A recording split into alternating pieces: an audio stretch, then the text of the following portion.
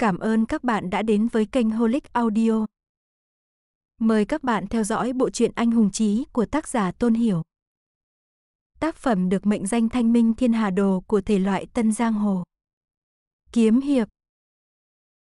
Quyển 9 chương 7 giảng hòa, hồi 1.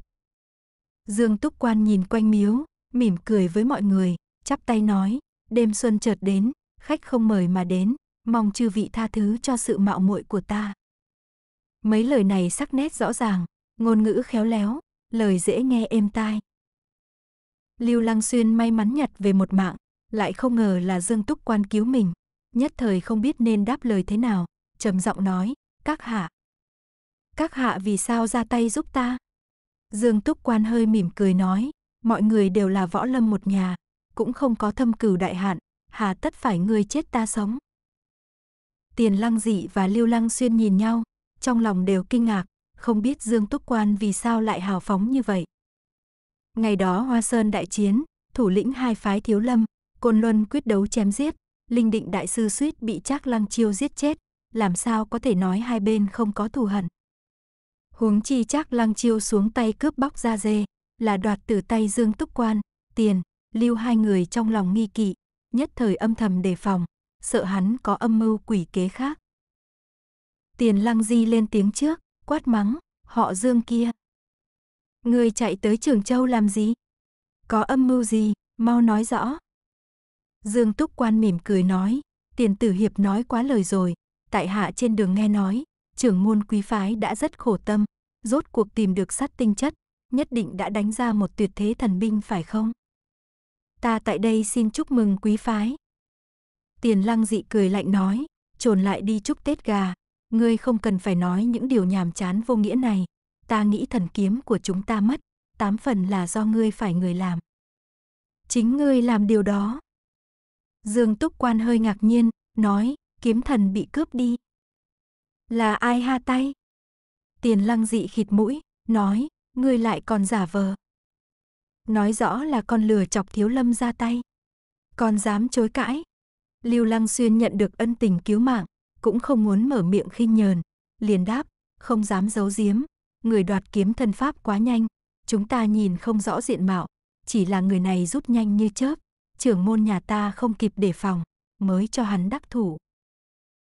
Dương Túc Quan hít sâu một hơi, gật đầu nói, hừ. Ta ngày đêm rong ruổi, vẫn là chậm một bước. Lưu Lăng xuyên nhíu mày nói, Dương Đại Nhân nói như thế, hẳn có biết người đoạt kiếm.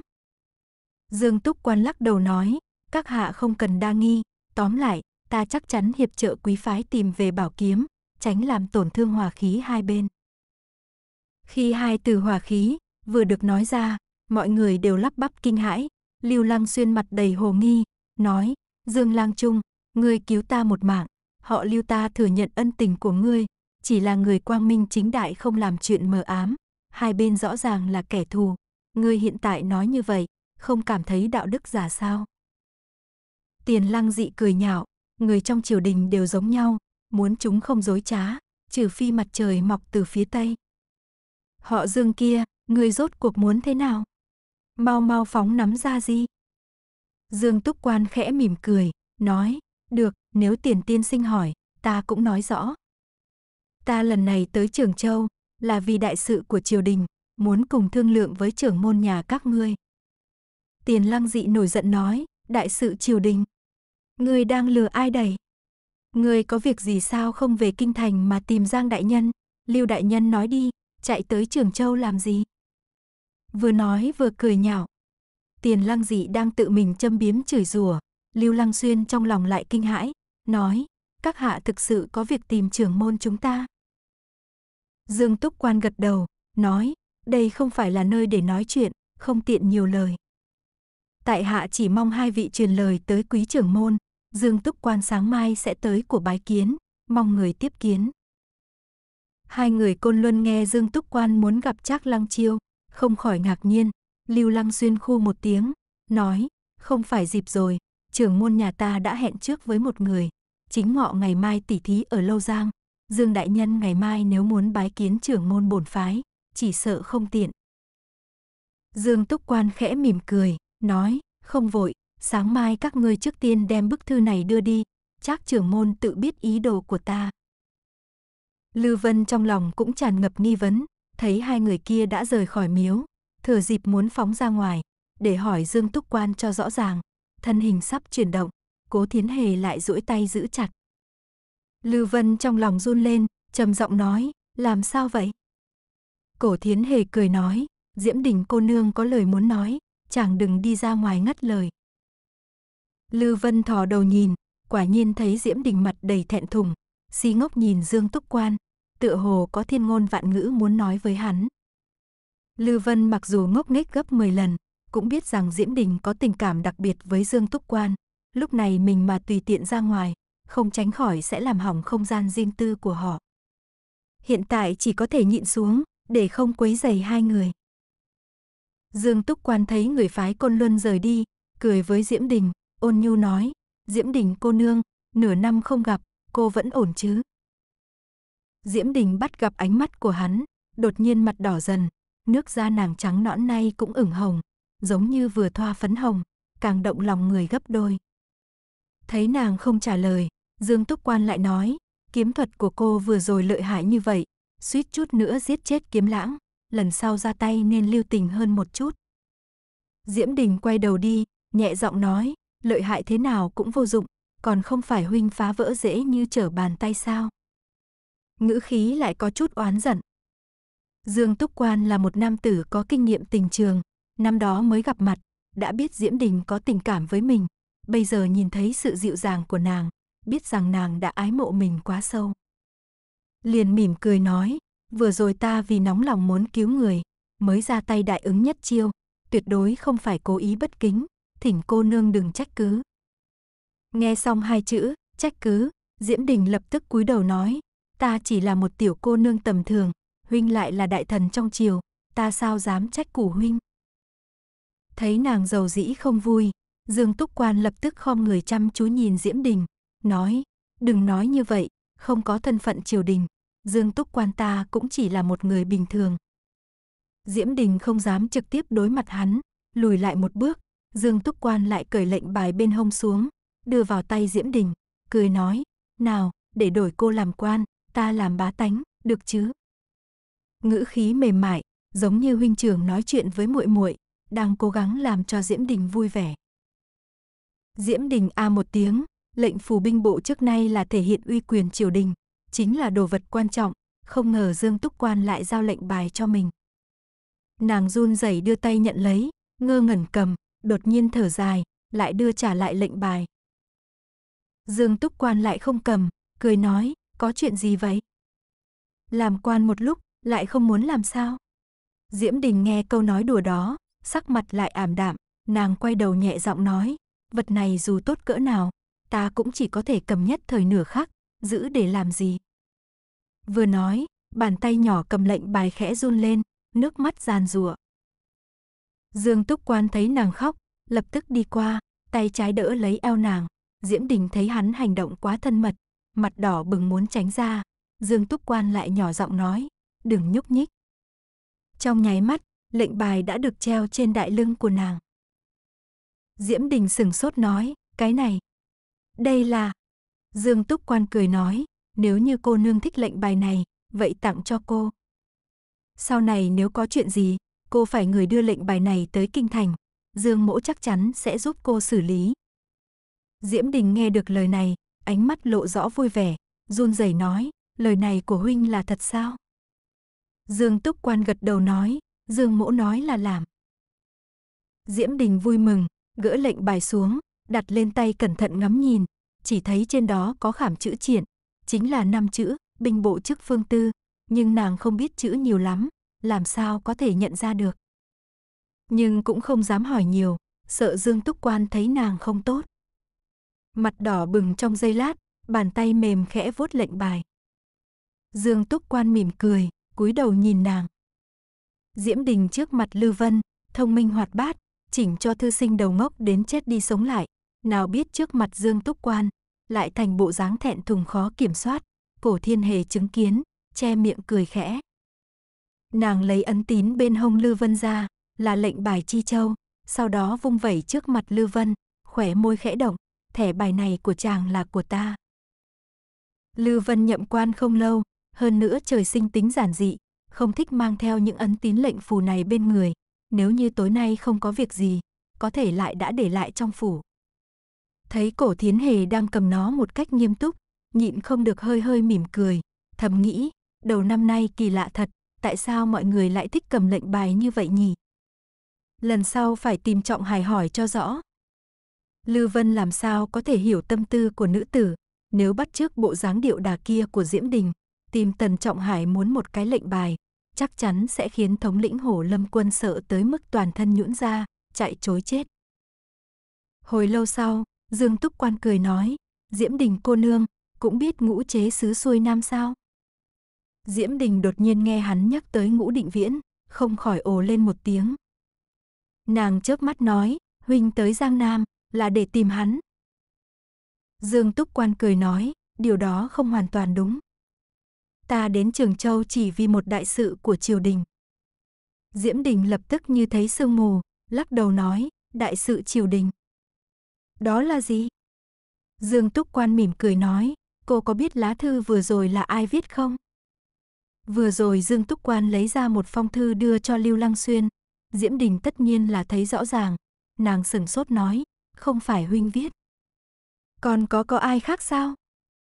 Dương Túc Quan lắc đầu nói, kia là không phải, bức thư vừa rồi là mật thư do chính tay Liễu Hầu ra viết, sai ta đi phía Nam chuyển cho Trác Lăng Chiêu, thỉnh hắn cùng đối phó với Giang Sung. Lời vừa nói ra, Lưu Vân và Cổ Thiến Hề sau bức tượng, Diễm Đình trước bức tượng, đều chấn động. Dương Túc Quan không để ý, khẽ hất ống tay áo, trầm giọng nói, chuyến này ta mang theo sứ mệnh của Liễu Môn, tới đây mời gọi Trác Lăng Chiêu. Lưu Vân nghe Liễu Ngang Thiên lại tự tay viết một hàm, kinh ngạc không nói nên lời, đầu óc rối bời, thầm nghĩ, đây là chuyện gì? Hầu ra không phải phải chúng ta tới đây bắt người sao?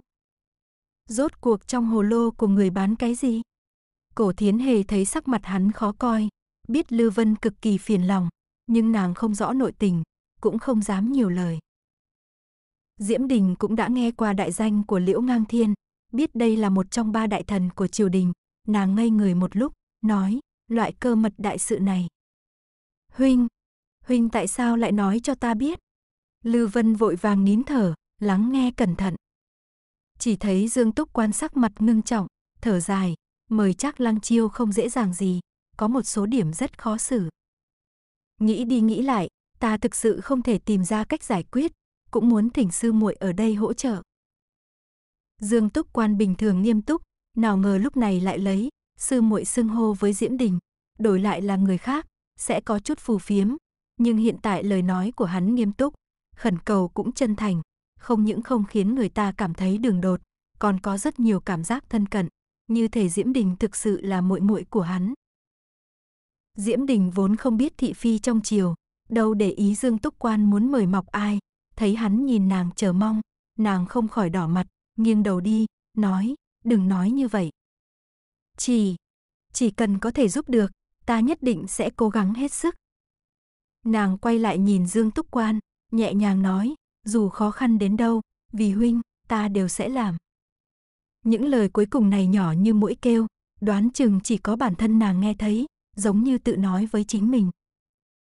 Dương Túc Quan nghe lời hứa hẹn của Diễm Đình, ngay lập tức vui vẻ nói, có lời nói này của chính muội, vậy là tốt rồi. Diễm Đình cô nương, ta muốn nhờ muội khuyên nhủ một người. Diễm Đình hơi kinh ngạc, không ngờ đây là điều hắn muốn nhờ nàng sừng sốt nói, khuyên nhủ. Ta thấp cổ bé hỏng, người nào chịu nghe ta khuyên? Dương Túc Quan khẽ mỉm cười, nói, người này rất quan tâm đến muội, hắn là ngũ chế sứ đã cứu tính mạng của muội. Diễm Đình a một tiếng nói, ngũ đại gia. Huynh muốn ta khuyên huynh ấy cái gì? Dương Túc Quan thở dài, ta hy vọng hắn buông tha Trác Lăng Chiêu. Diễm Đình lắp bắp kinh hãi, trên mặt đỏ bừng dần dần biến mất, nàng thấp giọng nói, huynh muốn kêu huynh ấy đừng báo thù. Dương Túc Quan gật đầu nói, cô nương quả nhiên thông minh, vì đại cục triều đình, ta không có lựa chọn nào khác. Lưu Vân nghe xong lời này, tia chớp trong đầu lóe lên, thoảng chốc hiểu ra mọi chuyện.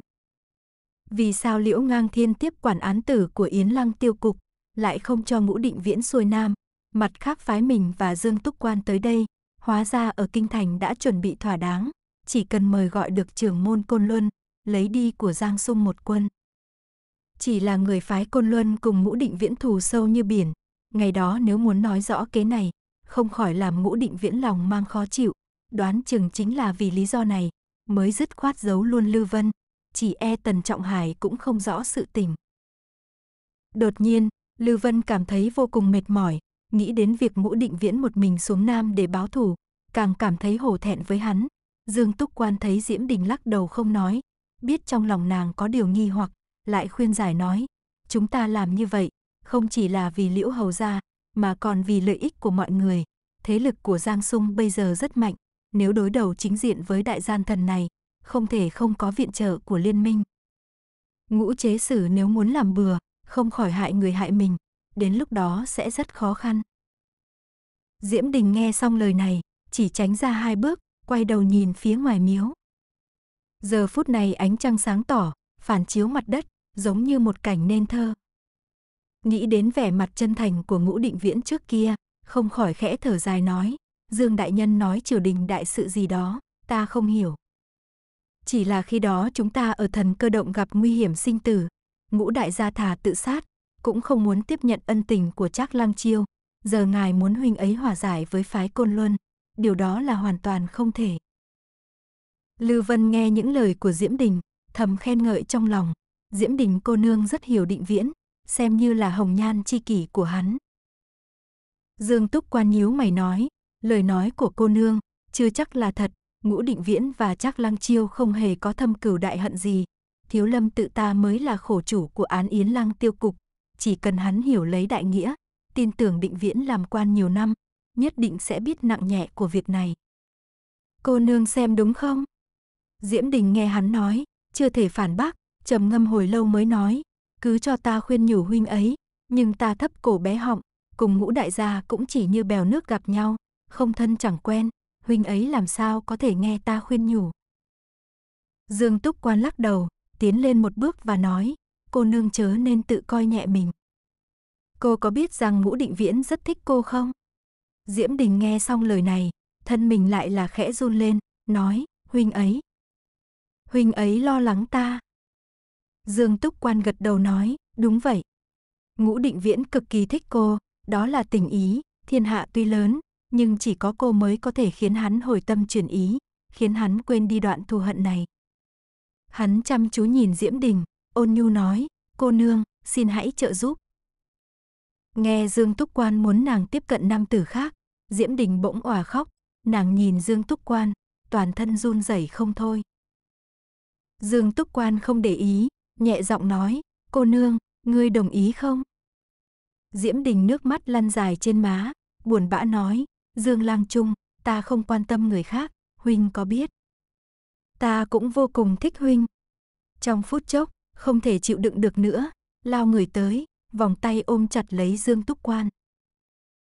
Dương Túc Quan để mặc nàng ôm mình, đưa tay vuốt tóc nàng, dịu dàng nói, Định Viễn là người trọng tình nghĩa, hắn đã mấy lần hy sinh tính mạng vì muội, là người đáng để muội phó thác.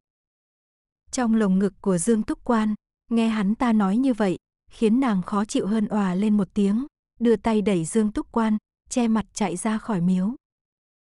Dương Túc Quan khẽ thở dài, nhìn bóng dáng của Diễm Đình, tựa hồ rất là bất đắc dĩ, bước nhẹ chân đuổi theo nàng. Hai người bọn họ khinh công đều bất phàm, trong giây lát đều biến mất không dấu vết. Lư Vân nhìn thấy hai người rời miếu, thở dài nặng nề, hai tay vuốt mặt, dựa lưng vào pho tượng, vẻ mặt vô cùng phiền muộn. Cổ Thiến Hề biết hắn đang khó chịu, lập tức cầm tay hắn, nhẹ giọng nói, chàng đừng phiền lòng, suy nghĩ cho rõ ràng rồi hãy nói. Lư Vân lắc đầu nói, nói cái gì mà đối xử chân thành, đại sự như như vậy cũng không gửi tin tức cho ta, coi chi châu này là cái gì. Định viễn ngàn dặm từ kinh thành, lại xem thành cái gì. Khi nói chuyện, biểu tình trông rất buồn rầu. Cố Thiền Hề khuyên giải nói, chàng đừng trách Dương Túc Quan, ta đã biết hắn hơn một năm, người này bề ngoài ôn hòa, kỳ thật tính tình rất biết nhẫn nhịn, ta nghĩ chỉ cần vì hầu gia của chàng, hắn đều có thể làm mọi chuyện. Quyển 9 chương 7 giảng hòa, hồi 2. Lư Vân không muốn nhiều lời, gật đầu, nắm lấy bàn tay nhỏ của cổ thiến hề, vừa định đứng lên, liền nghe thấy ngoài cửa có một thiếu nữ kêu to, sư tỷ. Sư tỷ, tỷ có trốn ở đây không?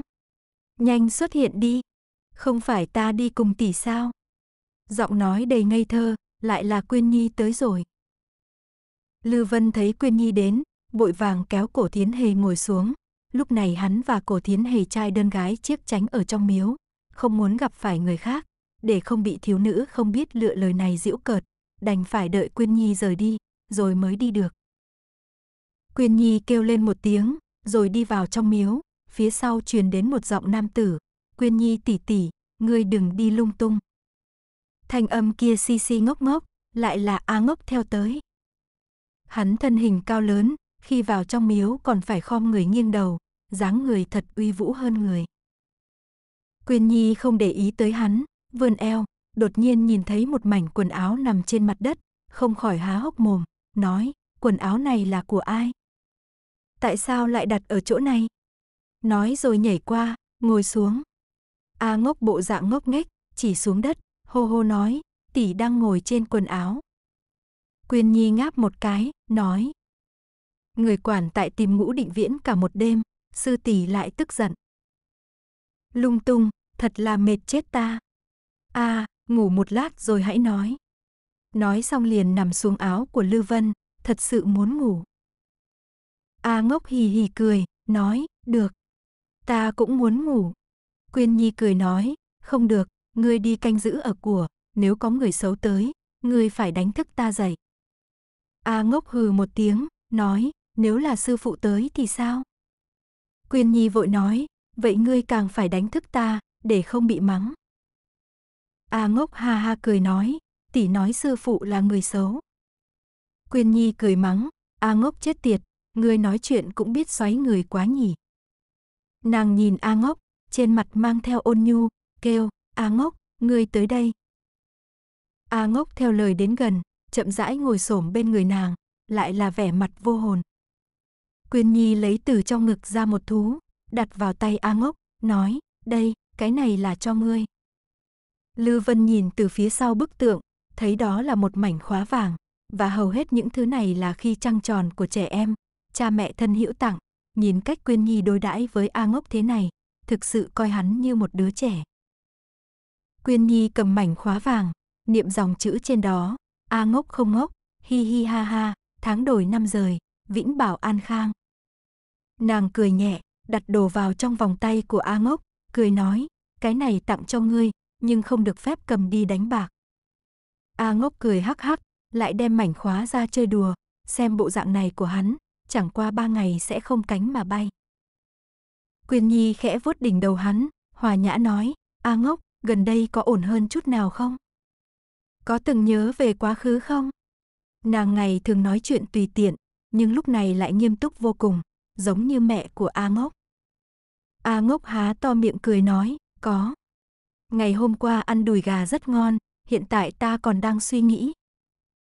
Quyên Nhi phỉ nhổ, nói, nói cho đàng hoàng, ngươi có nhớ chuyện trước kia không?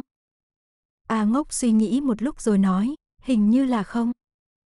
Quyên Nhi thở dài, nói, ngươi mau nhớ lại đi, mỗi ngày nhìn thấy ngươi ngốc như vậy, ta đều rất buồn. Vừa nói vừa vuốt nhẹ gò má cao lớn của hắn, cảm thấy rất đau lòng. A ngốc này nghe nói đã ngoài 40, không chỉ hai bên tóc hoa dâm, mà còn là người bệnh không rõ thần trí. Nhìn cách Quyên Nhi đối xử với hắn, đừng động chân tình với hắn, nếu không sau này sẽ khổ sở. Lư, cổ hai người chứng kiến, đều âm thầm lắc đầu. A ngốc cho nàng sờ soạn một lúc, có vẻ khá thoải mái, há to miệng cười tâu tuét, thân hình càng ghé sát vào Quyên Nhi, nhất quyết muốn nàng ôm vào trong ngực.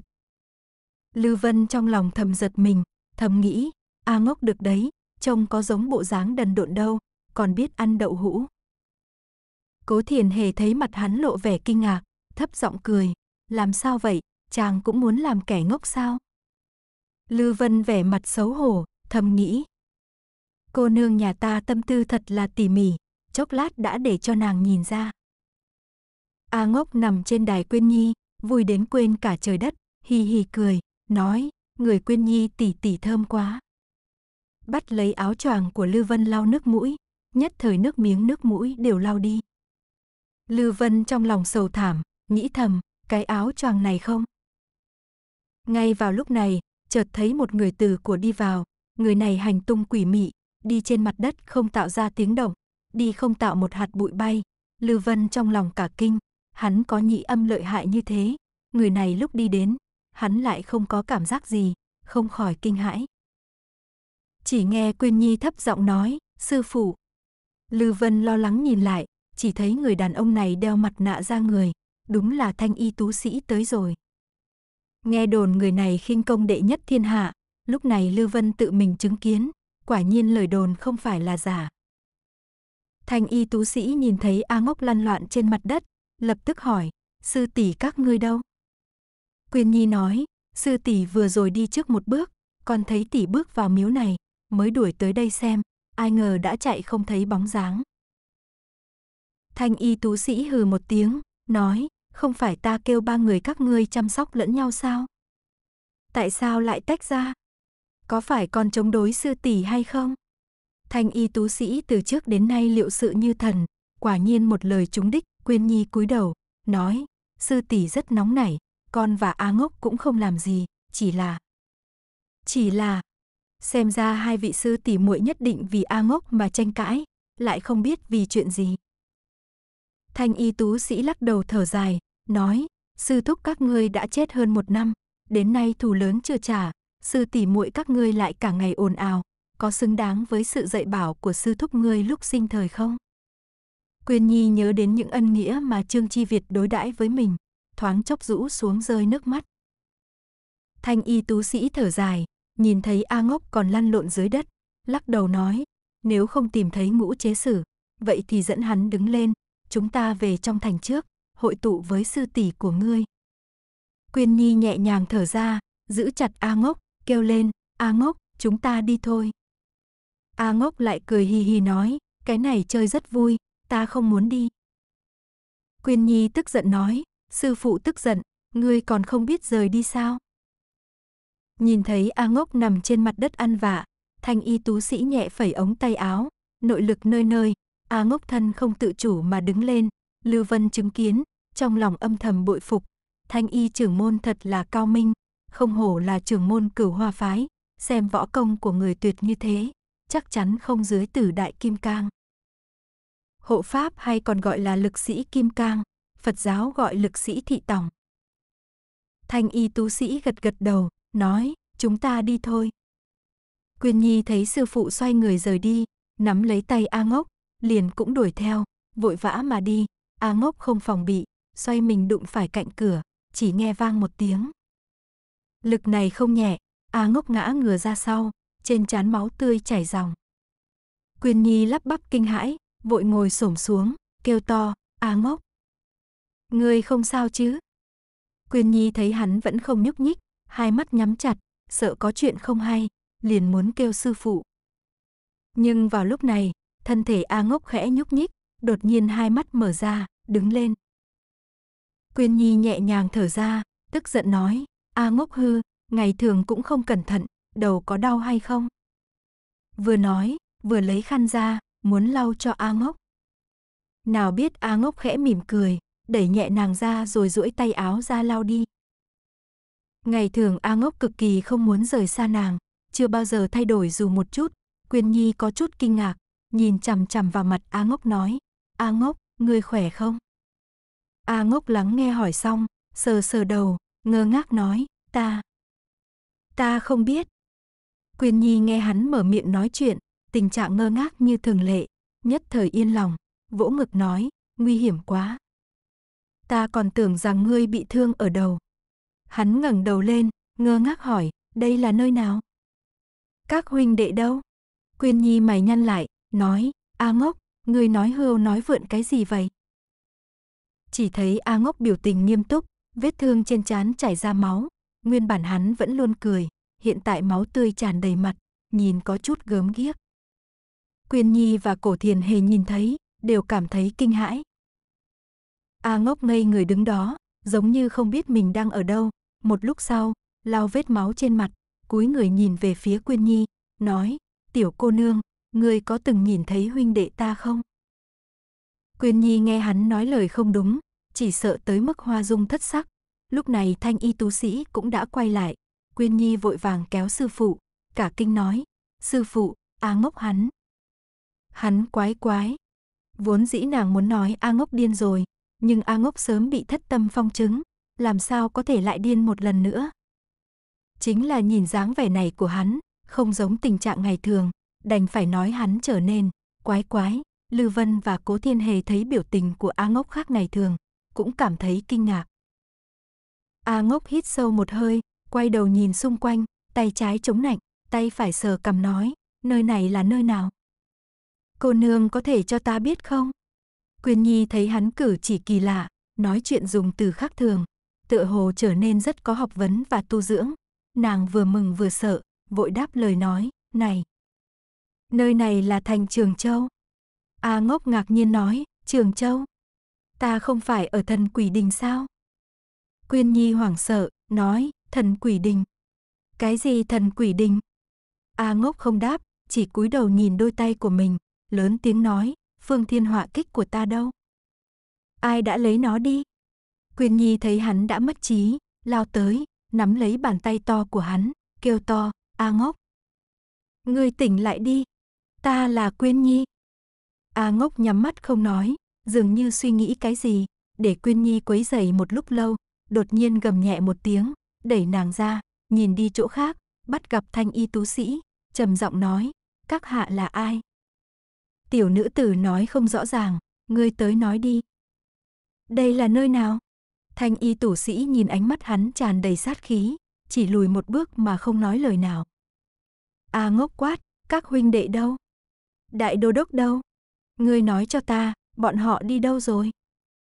Quyên Nhi bị ngã xuống đất, lúc này lại bò đứng dậy, từng bước đi về phía A ngốc, nhẹ giọng nói, không có huynh đệ, không có đại đô đốc, chỉ có Quyên Nhi cùng sư phụ, A ngốc, ngươi tỉnh lại đi. Nàng vốn muốn nắm tay A ngốc, thấy hắn mặt mang sát khí, nhất thời lại không dám. A ngốc ôm lấy đầu, tựa hồ đang suy nghĩ gì đó, chỉ thấy hắn cho mày, trong miệng điên cuồng hét lên không ngừng, quả thực là dọa người. Thanh y tú sĩ lại chỉ khoanh tay đứng nhìn, giống như đang cẩn thận quan sát hành động của hắn. A ngốc trên mặt có vết máu dài, nhất thời thần sắc dữ tợn, ngửa mặt lên trời quát, rốt cuộc đây là nơi nào? Các huynh đệ đi đâu? Hắn kêu to, như tiếng sét đánh giữa không trung. Quyên Nhi thấy hắn kêu to như vậy, sợ tới mức phát khóc, liên tục kêu lên, A ngốc. Ngươi đừng như vậy. A ngốc vươn tay đập vào tường, vang lên một tiếng vang thật lớn, đất đá bay tứ tung, trên tường hắn đánh ra một lỗ lớn, chỉ nghe hắn thảm thiết kêu lên, tặc tử. Các ngươi ngoài sáng chiêu an, ngầm lại phái người ám toán, uống cho tiểu lữ bố ta đứng giữa hòa giải, lại thành hại đại đô đốc, gian thần. Ngươi thật độc ác. Nói xong xé rách quần áo, để lộ những hình xăm hung dữ sau lưng. Mọi người thấy được rõ ràng, có một con mãnh hổ phía trên, hai hàng chữ hai bên. Đúng là mãnh hổ nằm hoang khâu, ẩn núp nanh vuốt chịu đựng. Làm yên lòng. a à. Quyền Nhi lo lắng sợ hãi, nắm chặt ống tay áo sư phụ, khóc dòng nói, sư phụ, A ngốc hắn điên rồi, người mau nghĩ cách đi. A ngốc chừng mắt nhìn thanh y tú sĩ, trong nháy mắt lao tới, điên cuồng hét lên, giờ trưởng định đánh xuống, đột nhiên một trận gió thổi lên, thanh y tú sĩ còn không có chạm đất, nhẹ nhàng bay xa ba thước, né tránh trường này. Trường phong đảo qua, bùn cát dưới lòng đất bắn tung tóe, khuấy động bụi mù mịt trong phòng. A ngốc trường lực liên kích, nhưng thanh y tú sĩ thân thủ uyển chuyển nhẹ nhàng, một bên Quyên Nhi sớm đã sợ tới mức choáng váng, chỉ khóc dòng nói, A ngốc. Ngươi đừng như vậy, đó là sư phụ. A ngốc kia không để ý tới, song trưởng múa ra, toàn lực tấn công thanh y tú sĩ. Nhìn thấy khí thể của A ngốc như một con hổ điên, muốn giết người phạm vi ba thước trước mặt mình, thanh y tú sĩ đột nhiên dừng chân bất động, sau đó tháo mặt nạ xuống. A ngốc đang tấn công rất hung dữ, nhưng khi nhìn thấy khuôn mặt hắn, không khỏi kinh hãi nói, là ngươi. Lưu Vân và Cổ Thiến Hề trốn sau bức tượng, chứng kiến rõ ràng, dưới ánh trăng, khuôn mặt đằng sau chiếc mặt nạ thanh tú, lại là một văn sĩ độ tuổi 50, có một hình xăm kim ấn bên má phải. A ngốc nhìn thấy khuôn mặt này, lập tức ôm lấy hắn, quỳ xuống khóc lóc thảm thiết, lớn tiếng nói, các huynh đệ đâu? Thanh y tú sĩ khẽ nói, đã chết hết rồi. A ngốc toàn thân kịch chấn, thở dốc nói, vợ ta đâu? Thanh y tú sĩ trong mắt hiện lên vẻ thương hại, nói, ngôn chấn vũ tử trận, nhị nương vẫn chưa biết tung tích. A ngốc nghe như vậy, nước mắt nước mũi chảy ròng, thanh y tú sĩ thấy hắn đau đớn muốn chết, bèn đưa tay xoa xoa đỉnh đầu, nói, thay trời hành đạo, giống như mộng xuân, ngũ hổ đường ai nấy đi, chỉ còn mình ngươi hãy còn trong mộng, thật sự không thật. Nói rồi lấy ra một ngân châm, đâm vào sau gáy A ngốc. Quyên Nhi ở một bên quan sát, giật mình kinh hãi, thấy hành vi của sư phụ có chút kỳ quái, không khỏi kinh ngạc nói, sư phụ, người làm gì vậy? Thanh y tú sĩ thản nhiên nói, ta muốn hắn ngốc. Quyên Nhi sửng sốt, run giọng nói, tại sao? Hắn, hắn tỉnh không tốt sao? Thanh y tú sĩ đeo mặt nạ lên thở dài, trong lúc loạn thế, một người hiểu được không bằng một người mất trí, để hắn ngủ tiếp đi. Quyên Nhi mờ mịt khó hiểu, nói, sư phụ, con. Không hiểu. Thanh y tú sĩ không trả lời, chỉ vỗ vai A ngốc một cái, nội lực nơi nơi, A ngốc phút chốc tỉnh lại, chỉ thấy hắn vuốt cái chán, khóc lớn, là ai đánh ta? Đầu ta đau quá. Ô ô, ô ô. Sau đó lại rửa sát vào Quyên Nhi, lại treo trên mặt biểu cảm ngốc nghếch. Quyên Nhi nhìn sư phụ, đưa tay xoa xoa chán A ngốc, thấp giọng nói, sư phụ, hắn. Hắn lại biến thành dáng vẻ này. Thanh y tu sĩ thở dài nói, người chăm sóc hắn cho tốt, chúng ta đi thôi. Nói rồi đi ra của miếu. A ngốc chạm vào vết sưng trên trán, khóc lớn, Quyên Nhi thở dài, lấy khăn trong lồng ngực ra, băng vết thương cho A ngốc. Lưu Vân từ phía sau bức tượng nhìn lại, chỉ thấy Quyên Nhi đang ngồi trên mặt đất với hai dòng nước mắt chảy dài trên khuôn mặt. Liên tục chứng kiến nhiều việc như vậy, đã đến canh hai, Lưu Vấn và Cổ Tiến Hề lại dọc bờ sông tìm kiếm một hồi, tìm không thấy ngũ định viễn, đành phải trở về phủ, hai người đều có mối bận tâm riêng, trên đường im lặng không nói gì. Đi tới cổ phủ Chi Châu, Cổ tiến Hề hỏi, tìm không thấy ngũ chế sứ, ngày mai nên làm sao bây giờ? Chàng có tính toán gì không? Lư Vân thở dài, chưa nói chuyện, chợt nghe một giọng nhẹ. Thanh y tu sĩ khẽ nói, đã chết hết rồi. A ngốc toàn thân kịch chấn, thở dốc nói, vợ ta đâu? Thanh y tú sĩ trong mắt hiện lên vẻ thương hại, nói, ngôn chấn vũ tử trận, nhị nương vẫn chưa biết tung tích. A ngốc nghe như vậy, nước mắt nước mũi chảy ròng, thanh y tú sĩ thấy hắn đau đớn muốn chết, bèn đưa tay xoa xoa đỉnh đầu, nói, thay trời hành đạo, giống như mộng xuân, ngũ hổ đường ai nấy đi, chỉ còn mình ngươi hãy còn trong mộng, thật sự không thật. Nói rồi lấy ra một ngân châm, đâm vào sau gáy A ngốc. Quyên Nhi ở một bên quan sát, giật mình kinh hãi, thấy hành vi của sư phụ có chút kỳ quái, không khỏi kinh ngạc nói, sư phụ, người làm gì vậy? Thanh y tú sĩ thản nhiên nói, ta muốn hắn ngốc. Quyên Nhi sửng sốt, run giọng nói, tại sao? Hắn, hắn tỉnh không tốt sao? Thanh y tú sĩ đeo mặt nạ lên thở dài, trong lúc loạn thế, một người hiểu được không bằng một người mất trí, để hắn ngủ tiếp đi. Quyên Nhi mờ mịt khó hiểu, nói, sư phụ, con. Không hiểu. Thanh y tú sĩ không trả lời, chỉ vỗ vai A ngốc một cái, nội lực nơi nơi, A ngốc phút chốc tỉnh lại, chỉ thấy hắn vuốt cái chán, khóc lớn, là ai đánh ta? Đầu ta đau quá. Ô ô, ô ô. Sau đó lại rửa sát vào Quyên Nhi, lại treo trên mặt biểu cảm ngốc nghếch. Quyên Nhi nhìn sư phụ, đưa tay xoa xoa chán A ngốc, thấp giọng nói, sư phụ, hắn. Hắn lại biến thành dáng vẻ này. Thanh y tu sĩ thở dài nói, người chăm sóc hắn cho tốt, chúng ta đi thôi. Nói rồi đi ra của miếu.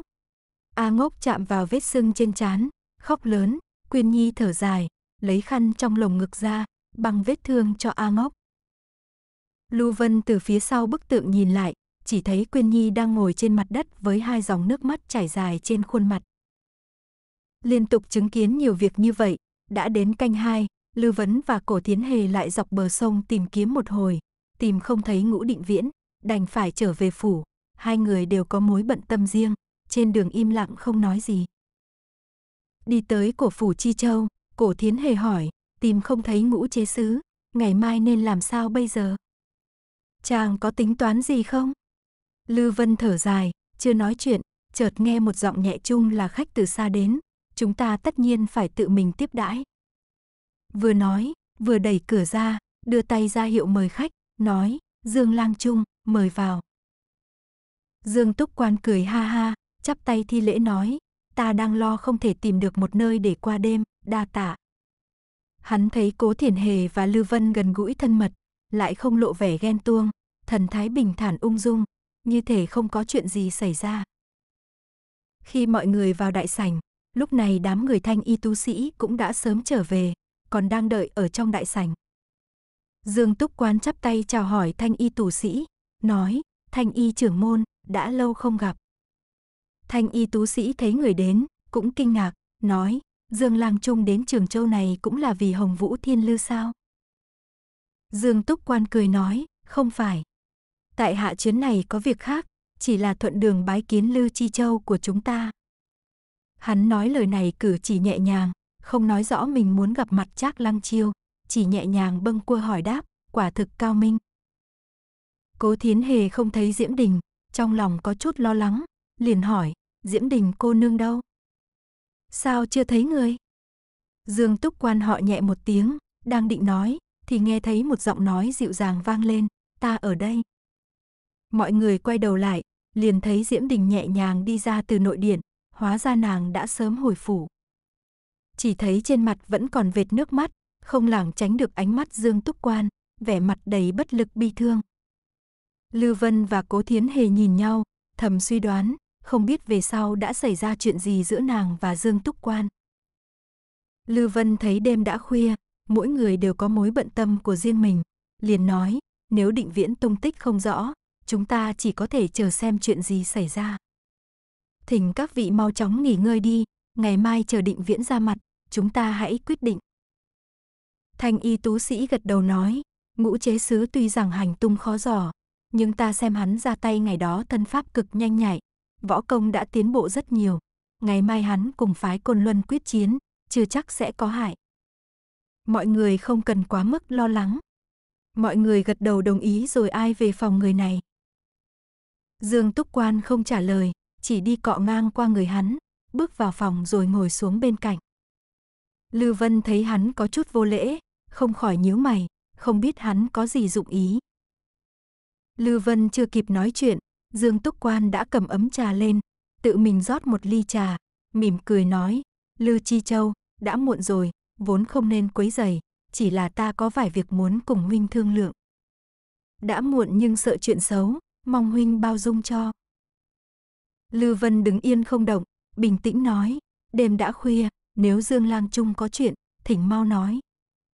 Hắn nghe nói Liễu Ngang Thiên chủ ý muốn chiêu dụ Trác Lăng Chiêu, nhưng chính mình chưa từng nghe thấy gì về điều đó trước đây, suy nghĩ vẫn còn quanh quẩn chỗ này, không khỏi trong lòng có chút khó chịu, không khí tự nhiên cũng không được tốt. Dương Túc Quan nghe hắn thúc giục, ngược lại dù bận vẫn ung dung, nhấp một ngụm trà, chậm rãi nói, ngày đó ta vừa rời kinh thành, vi hộ vệ liền sai người đưa tới tin tức, nói định viễn từ quan rời kinh, đã xuôi nam, chỉ sợ đi tìm Trác Lăng Chiêu, ta thấy tình thế bất lợi, liền chạy một mạch đến Trường Châu. 2. Vẫn là chậm một bước so với định viễn.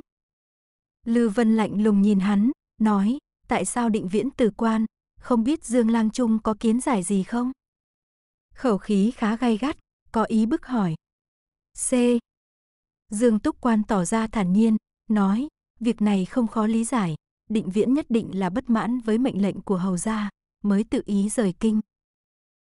Lư Vân sớm đã liệu sự việc này, chỉ là hắn sợ tiền đồ của ngũ định viễn bị liên lụy, liền lấy lại khẩu khí, hỏi, hầu gia có biết việc này không?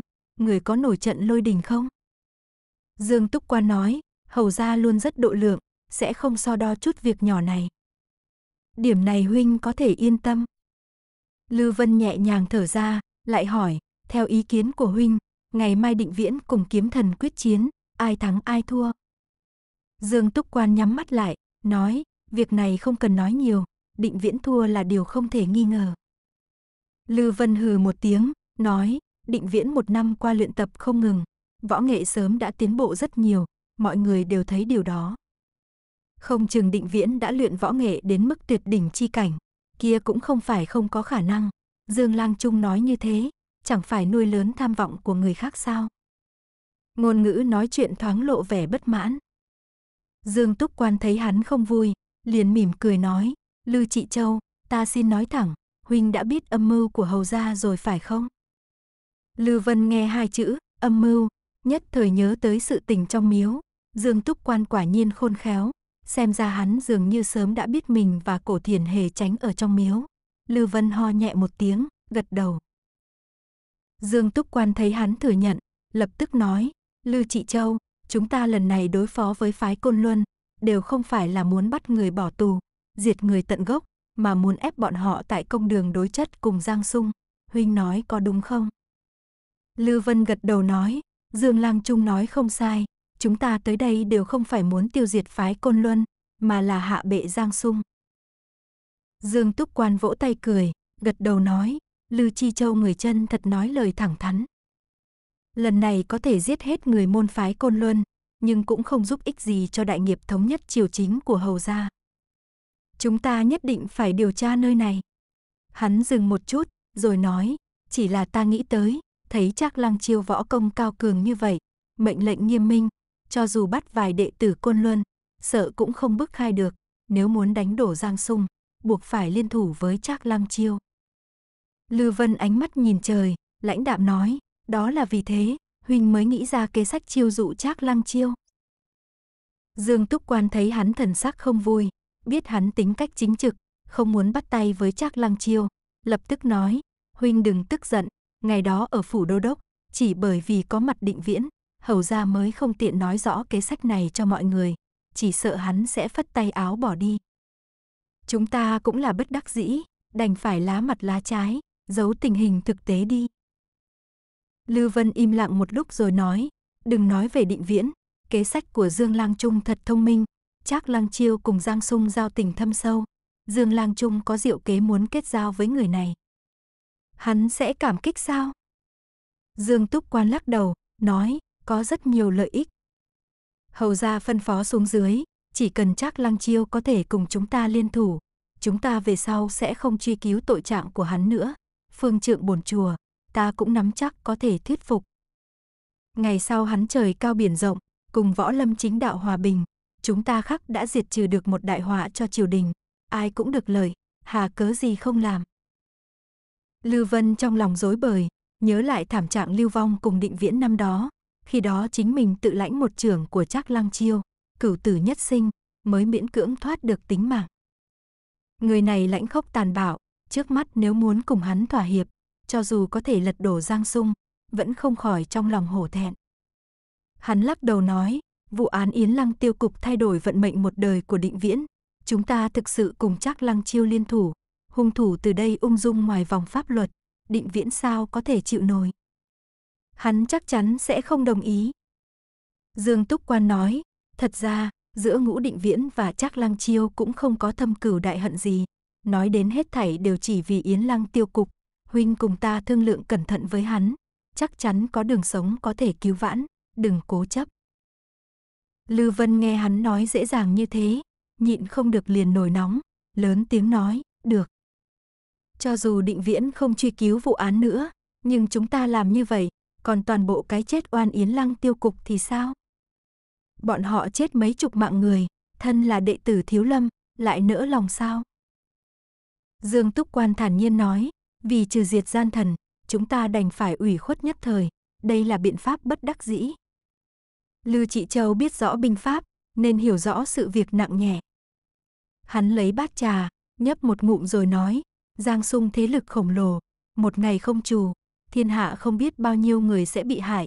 Trác Lăng Chiêu võ công tuy cao, nhưng cũng chỉ là một giới cỏ rác, gây họa không được bao nhiêu, hai người nếu ưu tiên loại trừ một, Lư Chi Châu chọn như thế nào đây? Lư Vân từng trước mặt Liễu Ngang Thiên bày ra kế trọng trấn Triều Cương, tất nhiên hiểu rõ cục diện trong triều, nghe lời này thật khó từ chối, chỉ nói, việc này ta không dị nghị, chỉ cần định viễn có thể đáp ứng, ta liền dễ nói chuyện. Dương Túc Quan biết hắn có ý trốn tránh, lập tức nói, ta nếu có thể tìm được người khác, sẽ tự đi nói chuyện trước với hắn. Chỉ là hiện tại thời gian cấp bách, chỉ sợ không gặp được ngũ chế sử, chúng ta liền cùng chắc lăng chiêu nghị định thương lượng, đến lúc đó sẽ có lỗi với hắn. Lư Vân hừ một tiếng, nói, chúng ta làm như vậy, chỉ sợ định viễn sẽ nổi giận, trong cơn tức giận, chúng ta e là bằng hữu cũng không thể làm được nữa. Dương Túc Quan cười nói, xin Lư Chi Châu an tâm, ta đều có an bài. Lục Vân hừ một tiếng, nói, an bài cái gì?